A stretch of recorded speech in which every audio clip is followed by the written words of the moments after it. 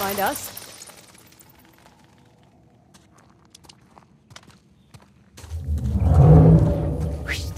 What is that? Whatever it is, it's close.